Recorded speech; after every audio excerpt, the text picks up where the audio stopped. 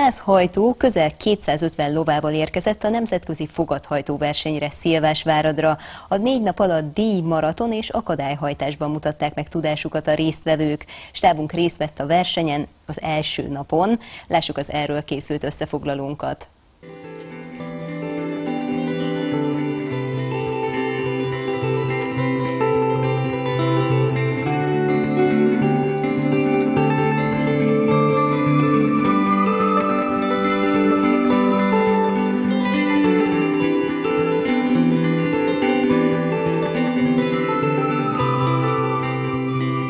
Nekünk Szilvásvárad mindig egy különleges élmény, mert mi is pesti gyerekek vagyunk, én most azért használom a többes számot, mert a testvérem is fogatajtó, és szintén a lovasportban jeleskedik, ő a Magyar Lovas Szövetség elnöke is és hát innen indult a pályafutásunk 1984-ben a szüleinkkel.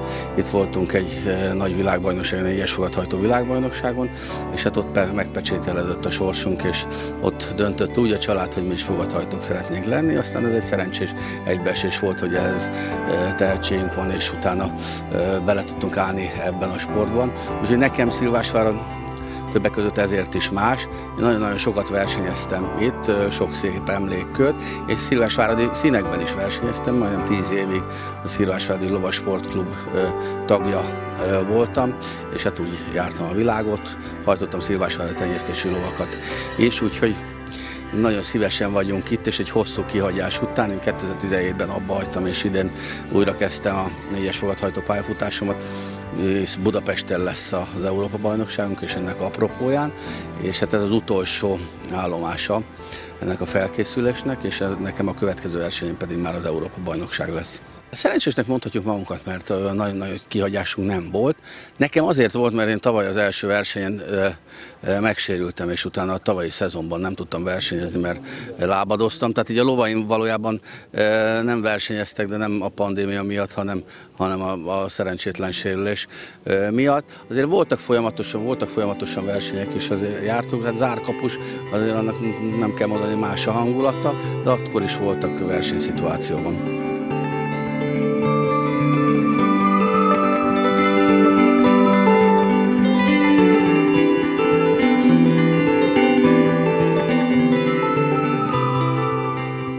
A szüleimnek is voltak lovai, és így a, a családból így kezdtük el, 32 éve hajtok fogatot. Először póni fogattal kezdtem két évig, aztán nagy kettes egy évbe, és utána négyes fogat azóta. Fiatal fogatom van, ezek az idén van nekik három verseny van mögöttük, tavaly ugye nem tudtunk versenyezni a Covid miatt, és tehát versenyről versenyre jobb teljesítmény nyújtanak. Bízok benne itt is egy jó eredményben.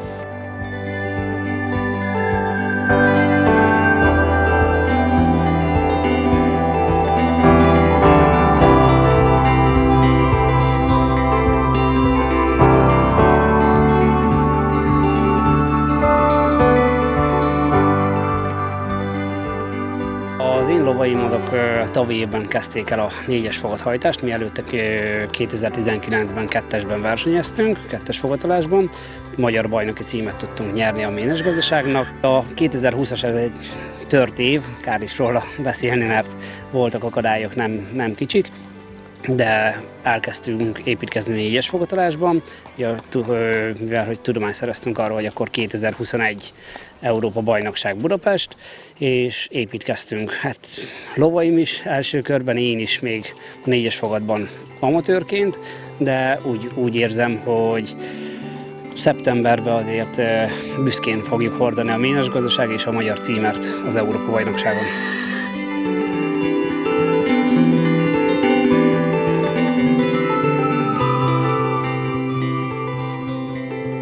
Ez az egyik utolsó főpróbája a Budapesti Európa bajnokságnak, melyet szeptemberben rendeznek meg, így amellett, hogy a válogatott csapatot ezután hirdeti ki a szövetségkapitány, pár esetben a külföldi válogatottakra is ez vonatkozik.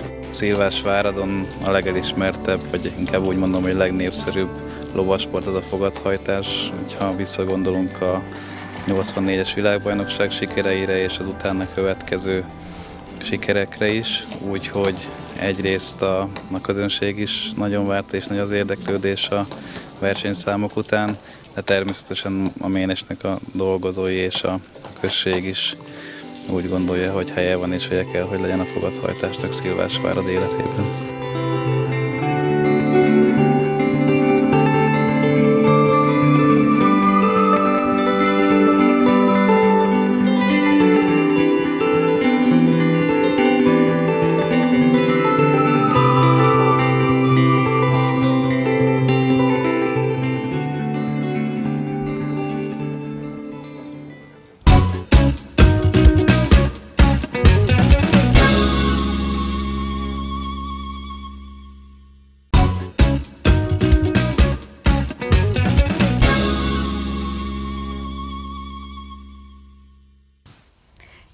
22-e és 25-e között tartották a nemzetközi fogadhajtó versenyt Szilvásváradon. A verseny részleteiről és az eredményekről beszélgetünk a folytatásban. Vendégünk Hetesi Nándor, a Szilvásváradi Állami Ménes Gazdaság igazgató helyettese.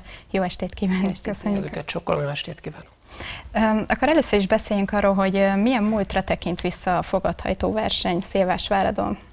Szilvásvárad Ménes gazdaság 1952-es megalapítása óta. Több fogatverseny is megrendezésre került, bár zárójelben meg kell jegyeznem, hogy amikor a Lipicai lovas stadion talajmunkáit végezték, akkor találtak egy 3000 éves lovas szobrot, ami azt próbálja nekünk predestinálni, hogy már itt korábban is lószerető emberek laktak, ez az apró kis szobornak a formavilága lett a Masters verseny sorozatunknak is a védjegye. A 60-as, 70-es, 80-as években már voltak fogadhajtó versenyek, ami tulajdonképpen az 1984-es fogadhajtó világbajnokságban csúcsosodott ki.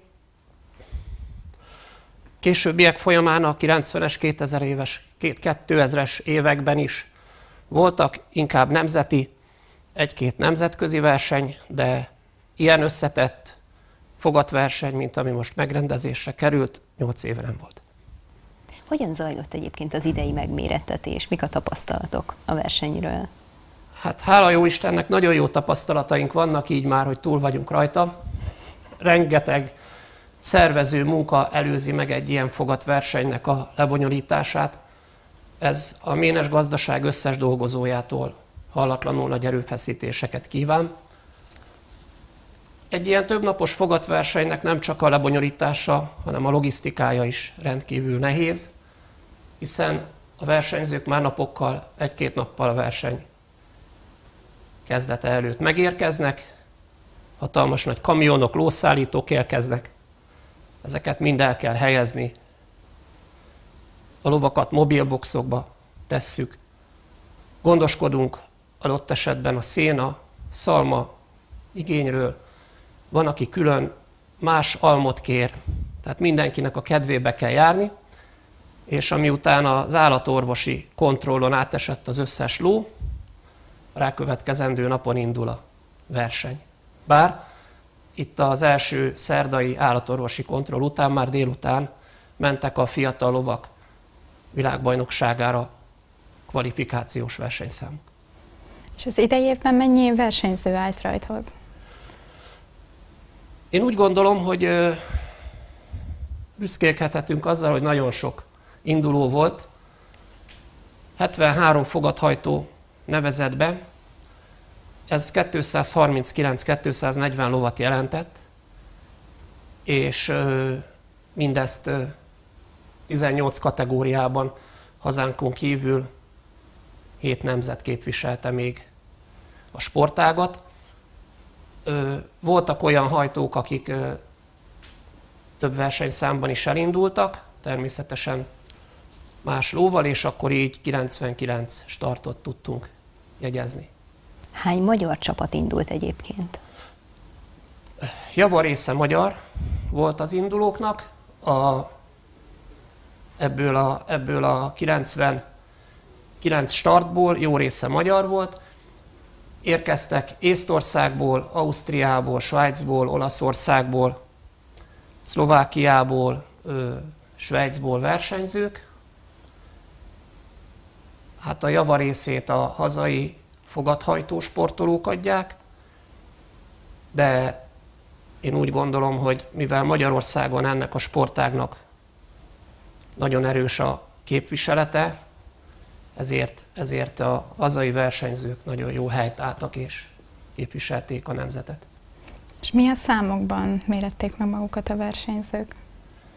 Ez egy összetett verseny, ami azt jelenti, hogy három versenyszámra tagozódik.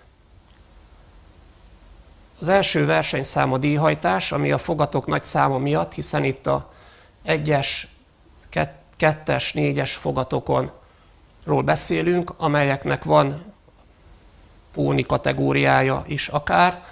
Nagyon kedves kép, amikor a négy kis póni húzza a négyes fogatot, és ugyanazzal a sebességgel szinte közlekednek, mint a komoly nagy lovak. De visszatérve a díjhajtás lezajlik két nap alatt a fogatok számának a, a mennyisége miatt. Ez követően a szombati nap volt a második versenyszám, ami a maratonhajtás volt. Itt szeretném elmondani, hogy sikerült egy olyan európai, sőt én azt merem mondani, egy olyan világszínvonalú maratonpályát építenünk, amelyre valóban csodárája járt a, mint a közönség, mint pedig a hajtók is meglepődtek, mikor először lesétáltak oda nézni a pályát, hogy a bükkölelésében, ebben a csodálatos Szilvásváradon ezt ilyen létezik, és hogy ez ennyire, ennyire ö, szép.